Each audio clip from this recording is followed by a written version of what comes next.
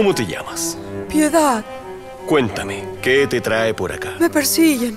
Quieren hacerme añicos, doctor. Tiene que ayudarme. Tranquilízate, acá estás a salvo. ¿Te sientes cómoda? La verdad, me siento un poco angustiada. Veré cómo puedo ayudarte. Comencemos desde el principio. Yo era una bebé roca de 16 millones de años que vivía feliz en las entrañas de la Tierra. Que de repente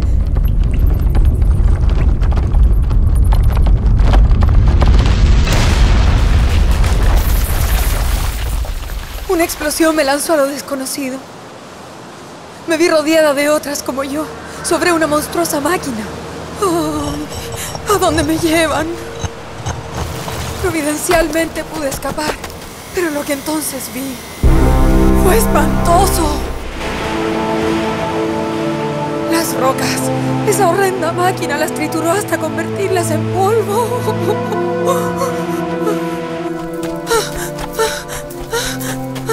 Querían pulverizarme, así que huí lo más rápido que pude. Por mucho tiempo vallé sin rumbo ni destino. Como una piedra en el camino, rodé rodé, rodé rodé. He tratado de insertarme en la sociedad. Como pisapapeles. Como sujeta puertas. Como juguete de niños. Pero unas voces desconocidas me persiguen. Ya no sé qué hacer, doctor. Ya no sé quién soy. Tranquila, Piedad. Ya has dado el primer paso al venir hasta acá. Pero por hoy, nuestro tiempo ha terminado.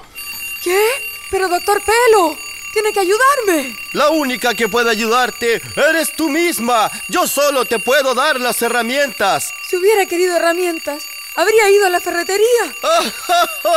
Muy graciosa. Voy a estudiar tu caso en detalle y nos vemos la próxima semana. ¿Quién soy? ¿Quién soy?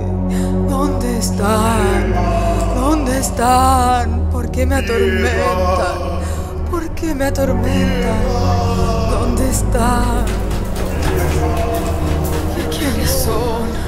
¿Qué quieren de mí? ¿Quiénes son? Eres de las ¿Quiénes nuestras. son? ¿Qué quieren de mí? ¿Quiénes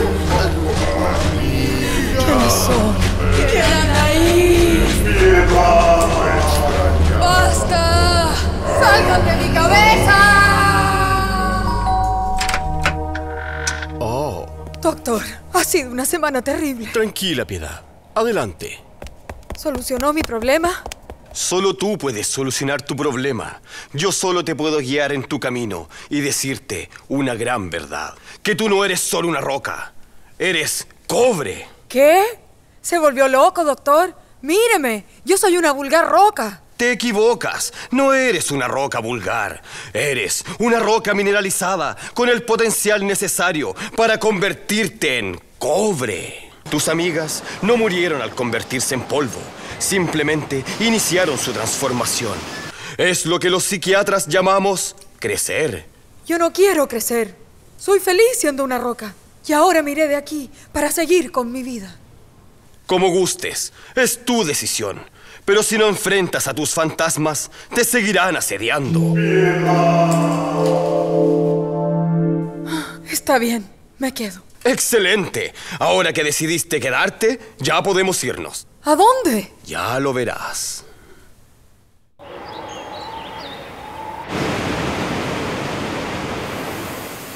Mmm, interesante. ¿Qué es tan interesante? ¿Ver cómo mis amigas rocas terminaron convertidas en pulpa espumosa? Según este libro, esta pulpa espumosa es parte de la metamorfosis, un estado de transición entre la roca y el metal. Las rocas extraídas se reducen de tamaño en chancadores y molinos, hasta convertirse en un fino polvo que se mezcla con agua, reactivos químicos y aire en forma de burbujas. En la pulpa que se forma, las partículas que mantienen cobre se adhieren a las burbujas, separándose del resto de los minerales, formando un concentrado que es filtrado y llevado al proceso de fundición. donde desaparecerán para siempre. Como las rocas que eran. En la fundición, a 1200 grados Celsius, el cobre contenido en el concentrado se separa de otros elementos, como fierro, sílice y azufre, pasando a constituir el cobre metálico. ¡Ey, piedad! ¡Tanto tiempo! Hola, ¿quién eres? ¿No me recuerdas? Éramos compañeras en el subsuelo terrestre.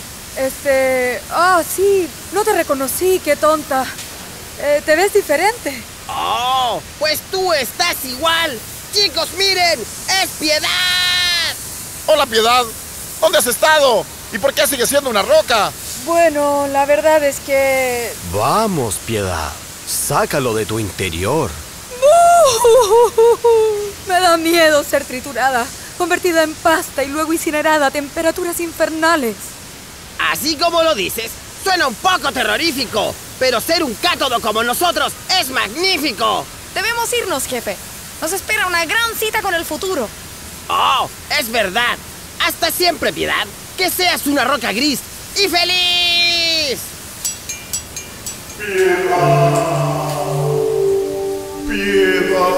Oh no, son las voces de nuevo. Por favor, doctor, dígales que se callen. Mejor escúchalas con atención. ¿Qué? ¿Dónde están? ¿Dónde están? Por sus múltiples propiedades, el cobre está en todas partes. Oh. En pernos, tuberías, calcetines, sartenes, computadores, autos, hospitales y hasta en los barcos. Piedad, ¿cómo te sientes? Es raro, pero ahora todo cobra sentido.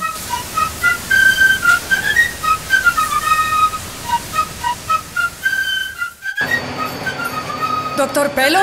Sí. Creo que estoy lista. Qué bien, Piedad. Me alegra que así sea. Muchas gracias y hasta pronto. Allá va una roca valiente.